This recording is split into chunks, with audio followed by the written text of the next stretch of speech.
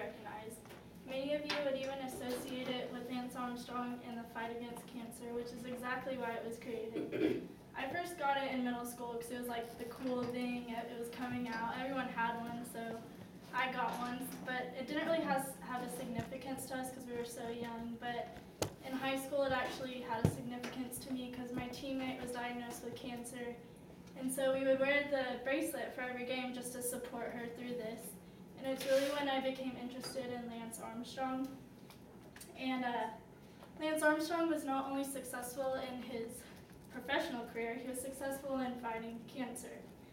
And today I'll tell you about his childhood, his struggle with cancer, and his professional achievements. Lance's upbringing molded him to be the determined man he is today. He was born on September 18, 1971 in Oak Cliff, Texas. And at the time, his mother was 17 and single, so it really, they had a bond because they took care of one another. And at age seven, he got his first bike, which would change his life.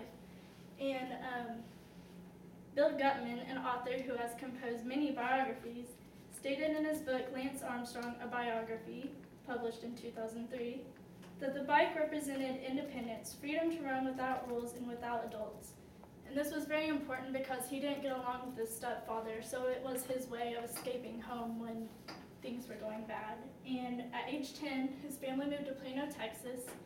And Plano was a football based town, so he tried to go play football, but he realized he was not good at sports with a ball or hand eye coordination. So he took up swimming and running, and he was actually really good at it. And when he was 13, he started doing triathlons. And the Lance Armstrong biography on A&E, no author or date, states that triathlons um, are composed of a 1,000 meter swim, 15 mile bike ride, and 3 mile run, which is really impressive for a 13 year old. And his senior year in high school, the U.S. Olympic development team um, asked him to come train in Colorado Springs with him. So he took that offer up, and um, in the 1992 U.S. Olympic um, time trial, he came in second, and this is when he signed his cycling contract with Motorola. But little did he know, now that his career was picking up, he would be faced with something that would put his career aside. In 1996, October, Lance was diagnosed with testicular cancer. It was well advanced. He had tumors in his lymph nodes, abdomen, and lungs.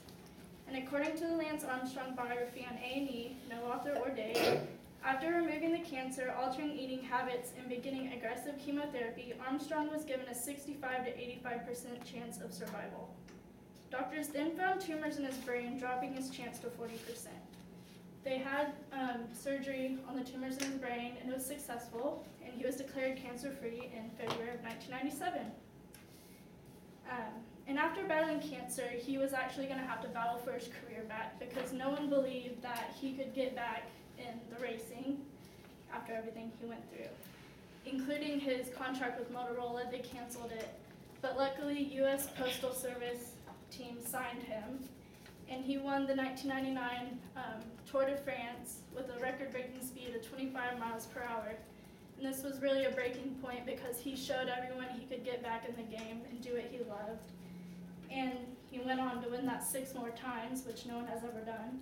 Lance Armstrong's website, Unknown and Author, states that he has been awarded virtually every sports honor there is and has become a symbol of hope and inspiration. He continues to be a cancer, cancer activist through his um, foundation, which is the Lance Armstrong Foundation. And his website states that the foundation provides practical information and tools people need to battle cancer and live strong through education, advocacy, public health programs, and research grants. Today I told you about Lance Armstrong's childhood, his struggle with cancer, and his professional achievements.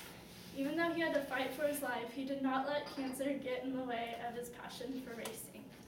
And I'm going to close with the Lance Armstrong quote. Pain is temporary. It may last a minute or an hour or a year, but eventually it will subside and something else will take its place. If I quit, however, it lasts forever.